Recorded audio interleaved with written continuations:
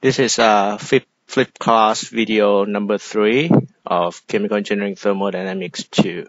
And the content would be in the textbook written by Smith, uh, Van Ness, and Abbott in chapter 11.6. And before you study this, you, you should uh, understand the definition of fugacity for the pure component first. And for today, we will talk about fugacity in a mixture. And just a brief review. For pure species, if it is ideal gas, according to the derivation in flip class video number two, we got the relationship between um, Gibbs-free energy with respect to pressure according to this equation. And then we define, later on we define that for gas which is not ideal, we can still calculate the partial molar Gibbs-free energy of that gas. But in order to do so, the pressure is no longer pressure. We need to change the pressure term to fugacity. All right. And in this equation, in this equation, the gamma, gamma here is a constant, is it is the integration constant obtained at one particular con at one particular temperature. The temperature here is supposed to be constant for one component. So we are going to do something similar for species I in ideal gas mixture. So if we change from pure species to mixture, then according to the flip class video number two, we got partial molar Gibbs-free energy like so. The form of the equation is very similar to the one for pure component, except that right now in the mixture, we represent the properties as a partial molar properties. We have bar here, and on the right hand side, instead of getting total pressure, the pressure will be changed to partial pressure. Yi times P here is partial pressure. The rest of the form of the equation remains the same. And we have to define something similar, but this, this one is for mixture. Definition would be something like this. The partial molar free energy of the mixture that is not ideal gas can be calculated in the same form, only we change the partial pressure into fugacity. Now, please note that right now fugacity has a cap on, on the top. The cap here represent represent that right now species is not pure. It is a part of the mixture. And this is not the same as partial molar properties in the sense that the f hat is not defined as partial molar properties at all. And so this one does not, this relationship does not exist. And this cap here, just a symbol to say that right now the, our system is a mixture. And then the, the once we define fugacity for the mixture, then this is very similar to fugacity of a pure component in the sense that the, from definition, fugacity is defined based on gas but utilization can be applied to any form, including phase equilibrium.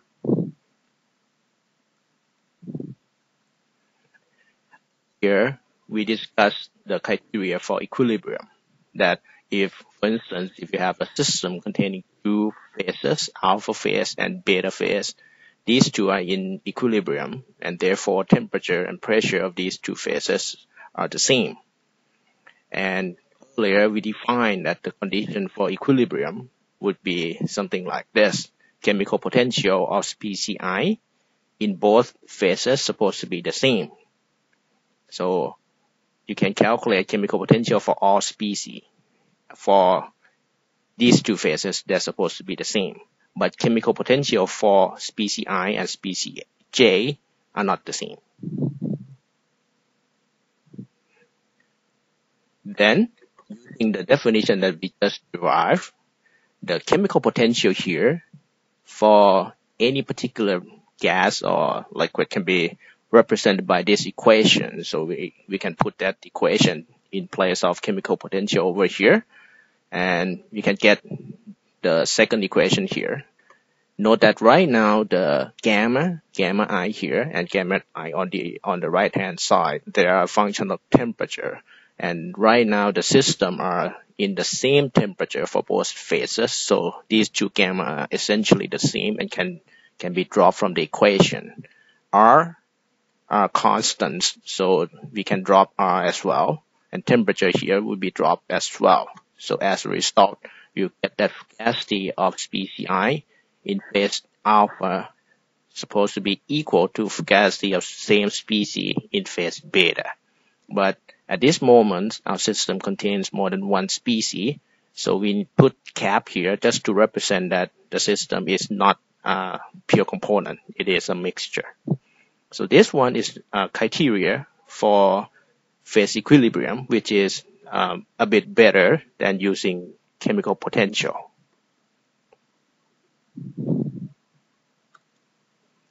And we reduce our system from mixture to pure component. Fugacity will be reduced from fugacity in mixture into the fugacity of pure species, which is already derived in class.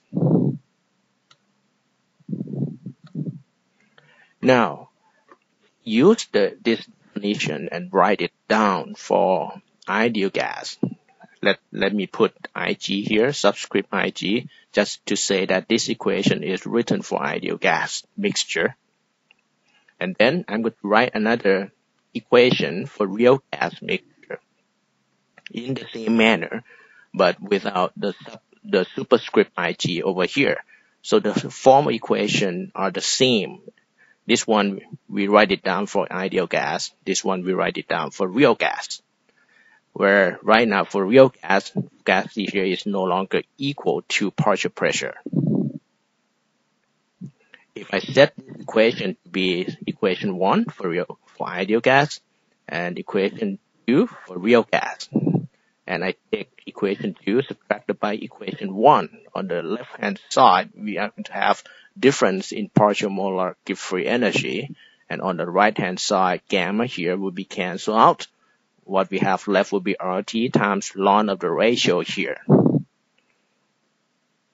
This variable is partial molar free energy of real gas mixture and this one is partial molar free energy of ideal gas mixture of I in of species I in ideal gas mixture. So these two represent partial molar free energy of the same species, but in different situation. One is in real gas mixture, the other one is in ideal gas mixture.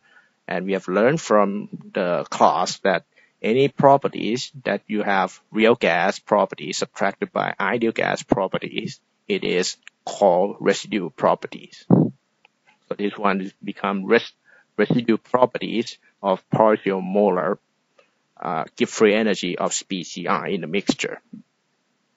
On the right hand side, this ratio is now defined and is called as the coefficient of species in the solution. It's a ratio of gas in the mixture of real speed of real gas divided by the partial pressure. And we use the phi, put a cap on top just to say that right now our system is a mixture.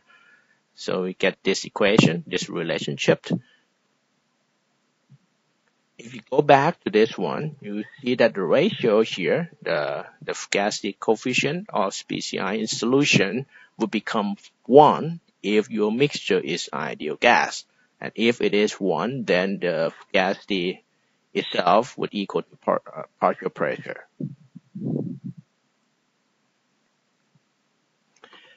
Then we are going to find relationship between fugacity coefficient with respect to residual properties.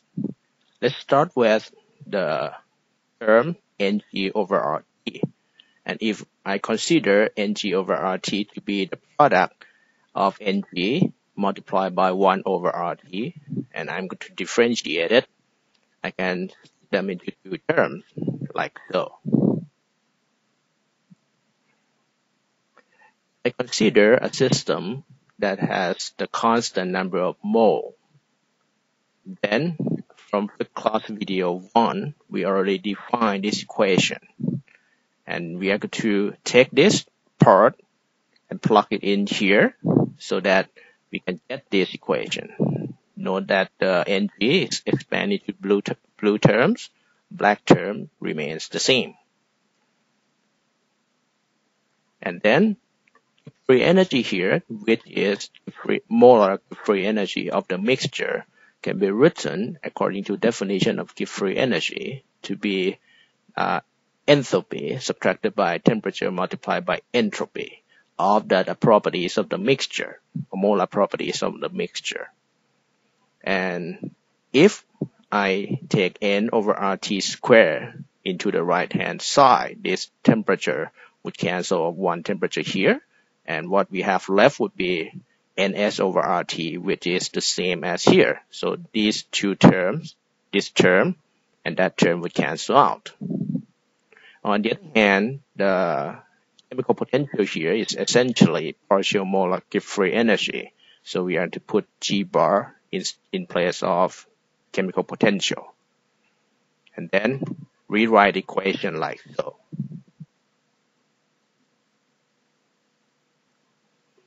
Now, if I write this equation, so far we derived this equation according to calculus only. So this equation is applicable to all kinds of scenario.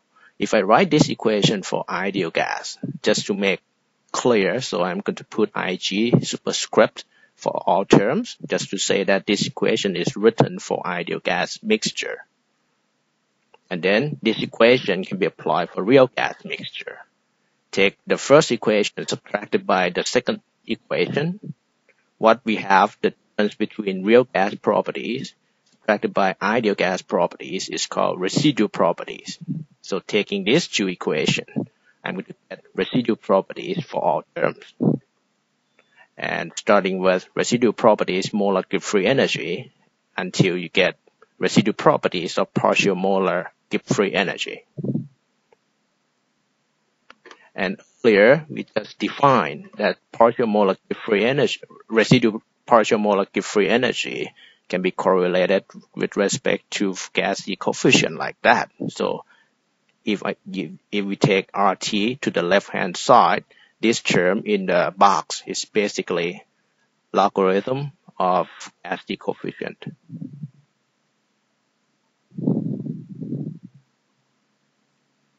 Now, considering this equation, we are going to split into special circumstances. The first one is for constant temperature and constant number of mole or species I. So I'm going to highlight the green one will be considered constant, so it will be dropped. There's zero because it is they're constant. Then we have differentiation on the left hand side and dp on the right hand side. If I take dp to the left hand side as the denominator, I'm to get this equation. So n here can be dropped out. So we can get this term would equal to the partial differentiation on the right hand side, taking the temperature and the number of mole to be constant. Keep in mind that if number of mole of each species is constant, the composition or mole fraction is supposed to be constant as well. So I can put x in place of n over here. On the other hand, if I take the situation where pressure is constant and the mole, mole, mole, number of mole of each species is constant, then dp here becomes zero, dn is zero. I can take dt to the left hand side end up with this equation. And if I take one of temperature on the left into the right, I can get the equation like that. So this equation is just the same as what we derived so far for your component. The only difference is that right now it is residual properties. From the same equation, now if I consider when the system is constant in temperature and pressure. Now dp is zero, dp is zero, dn is not zero, I can take dn to the left hand side. And then on the right hand side, I get logarithm of gas coefficient. Note that here, even though we have sigma sign. But right now, if I consider number of mole of other species rather than species I to be constant, then the differentiation of any other species will become zero except for species I. So then we can drop the sigma sign and have this formal equation only.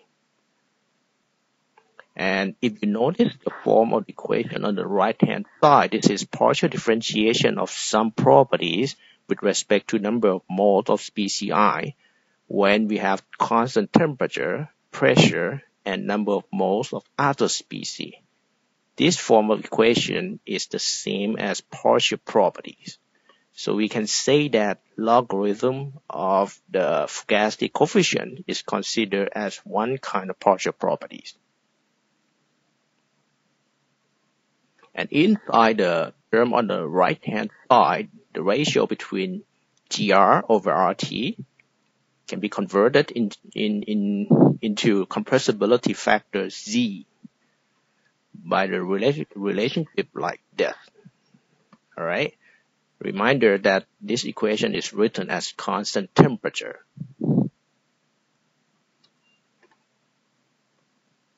So if I multiply this equation by number of moles, total number of moles of species in the mixture, so that I can get this term on the right hand side. Just multiply everything by n.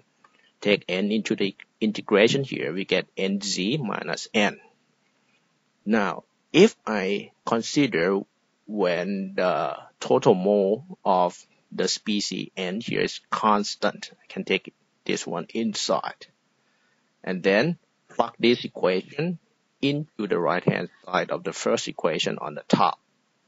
And then just alternate the sequence. Differentiation of integration just is, is equal to integration of the differentiation as long as the number of moles constant. So you can get this equation from, from just plugging this part into the top portion of the equation.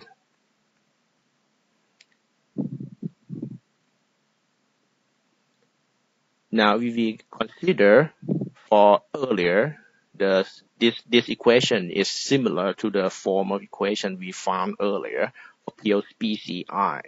This one is for pure species. Logarithm of Fugacity coefficient of I in pure species can be written in form of compressibility factor like so. But in the mixture for species I in the mixture, the equation is slightly different. On the right-hand side, if you consider this term, this is partial molar, uh, partial differentiation of one, uh, one properties with respect to number of moles at constant temperature, pressure, and number of moles of other species. So this parenthesis is essentially partial molar properties. We call, we are call this part to be the bar, which is called partial molar uh, compressibility factors. So essentially, these two equations are very similar. The form is similar. The only difference is that the, this equation is written for the mixture so that we put mixture sign on top of Fugacity coefficient, and then the compressibility factor turns to be partial molar compressibility factor.